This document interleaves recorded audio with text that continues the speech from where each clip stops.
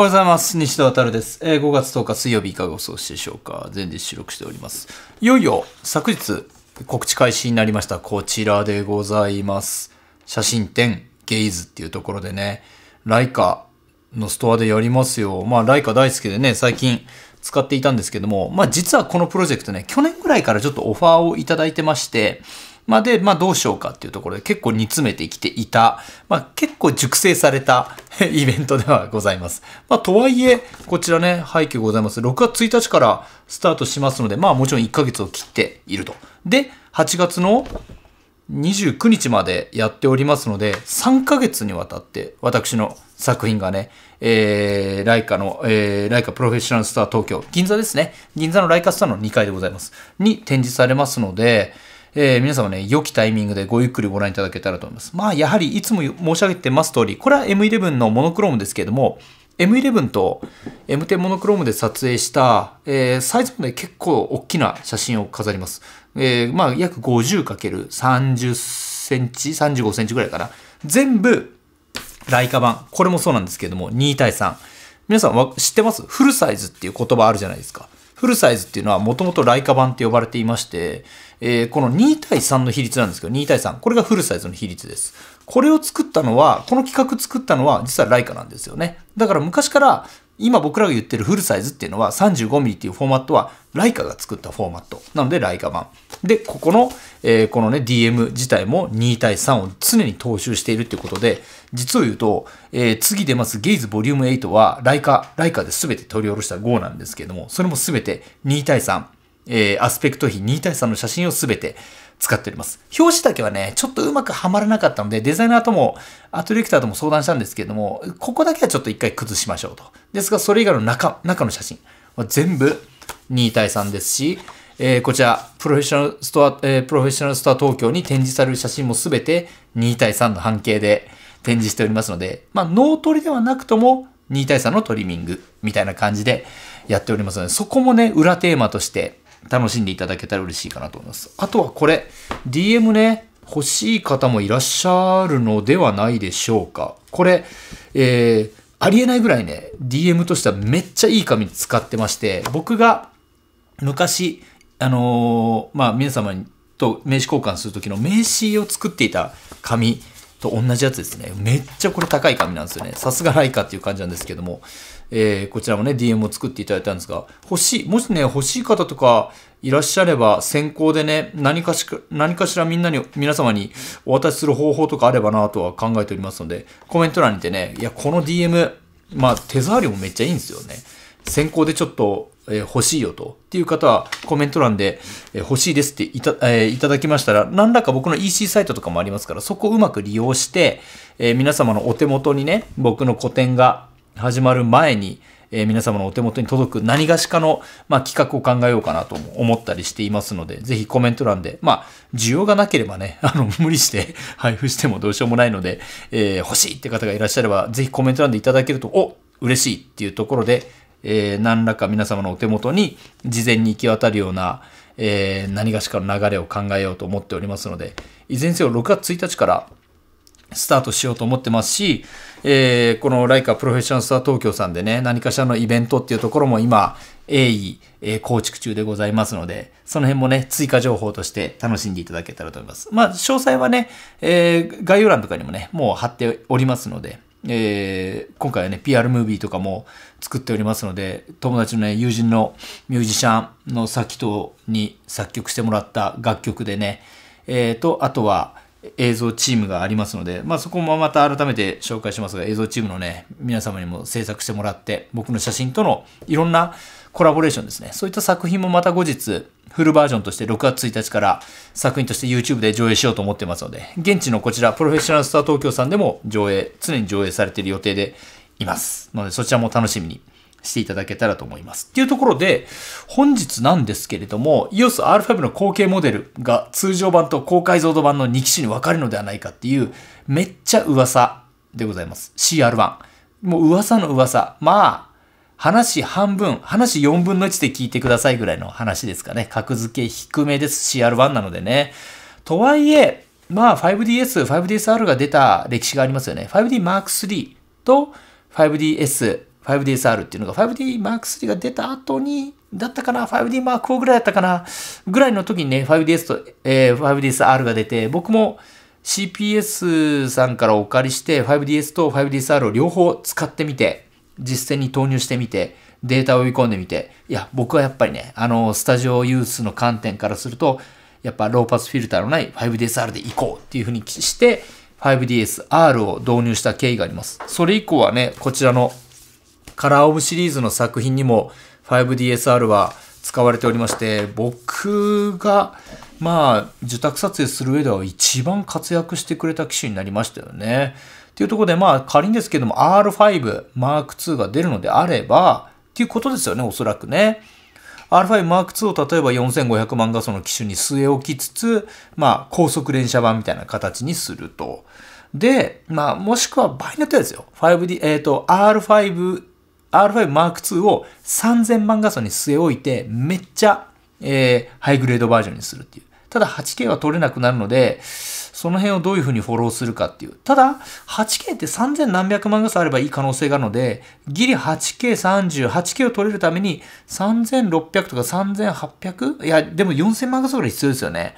なのでその辺に抑えつつ R5M2 を出して、で、まあ 4K と、一応映像は撮れるけど、結構スチルに振ったような、えー、R5 Mark IIS とかね。まあ要は、ソニーがやっぱり、えー、α7R4、5とかもうガンガン高画素機、ハイレゾ機は出てるじゃないですか。えーそえー、キャノンに関しては、要は R システムでハイレゾ機を出せてないわけですよね。もちろん R5 を、えー、4500万画素でね、ハイレゾ機っていう風に見立てることもできなくはないんですけれども、とはいえ時代はもうやはりこの辺の僕は今ね、それこそ愛用している M11、M11 モノクロームなどは、やはり多分ソニーセンサー積んできてて、まあ、今一番のハイレゾっていう風になると6000万画素機種ですよね。例えば、えー、シグマの FPL で、えー、ライカの M11 系列、そして、えー、まあ、新内の、えー、ソニーの α7R4、5あたりね。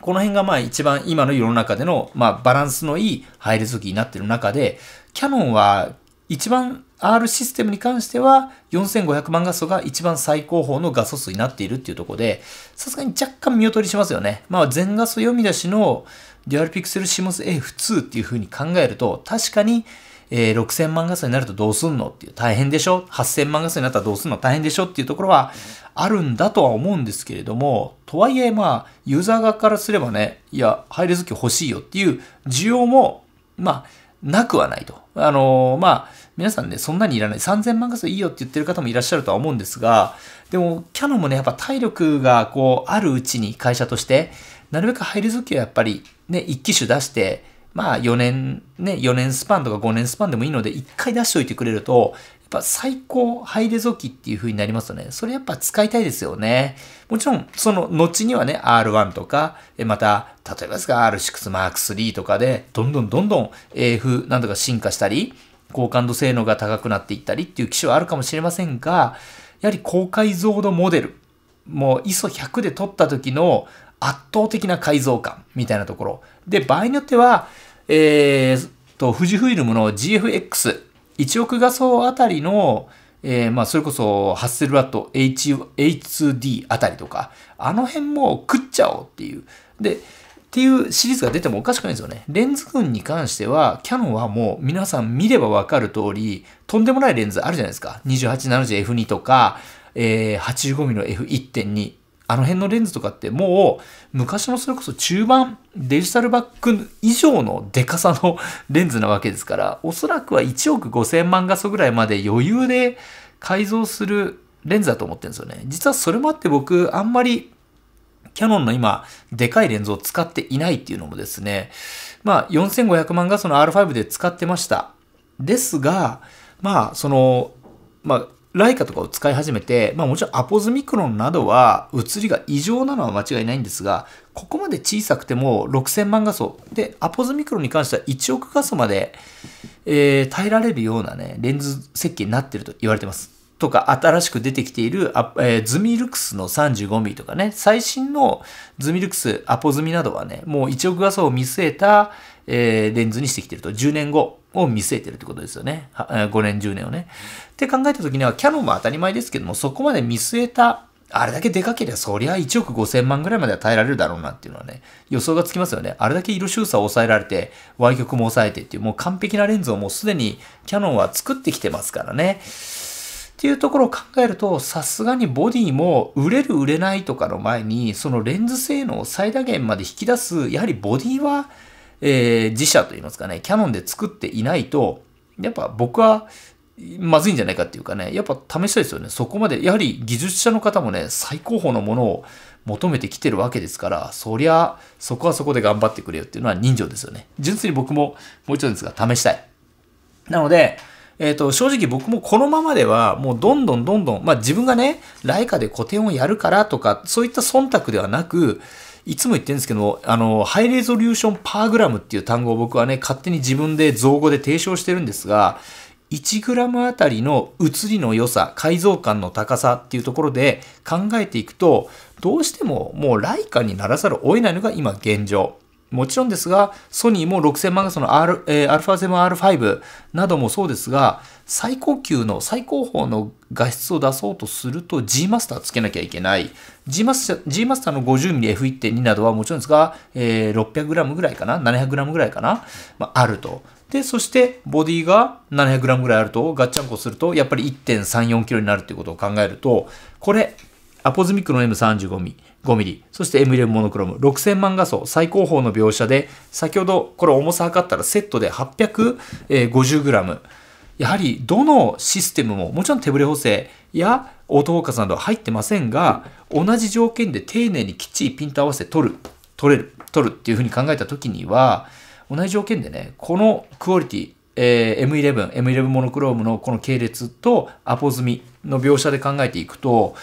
850g でキャノンもソニーもこのクオリティ、このめちゃくちゃハイレゾリューションで解像度の高い、そして描写力の高い描写っていうのは、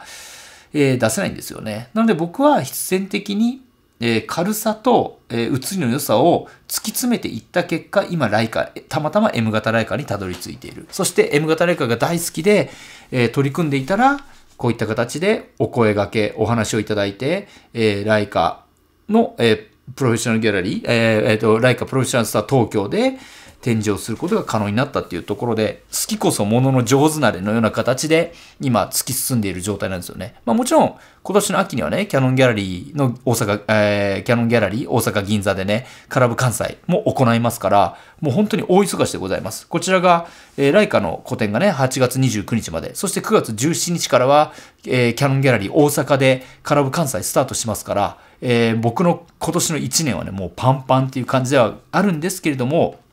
とにかく、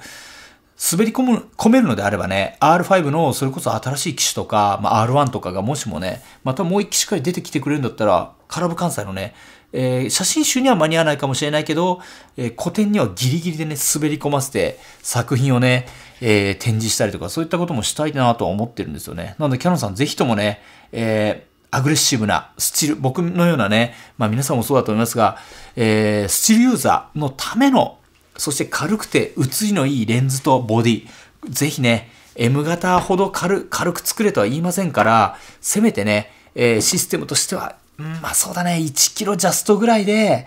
1キロ、1.1キロぐらいでね、もう本当にこう、驚くほどの改造感を出すようなカメラってなんとか作ってもらえないでしょうかっていうご相談の願いも込めて、このまあね、実際に出てくるとね、R5 Mark IIS とかになりますと、まあ重さは多分 730g ぐらいにはなると思うんですけども、700g にはなると思うんですけどもね、その中であとはレンズですよね。えー、3、400g ぐらいでの L レンズ、タンダムでいいのでね、出てきてほしいなっていうふうに願ったり、えー、している次第でございます。というところで、今日もお疲れ様お過ごしください。西田でした。どうも。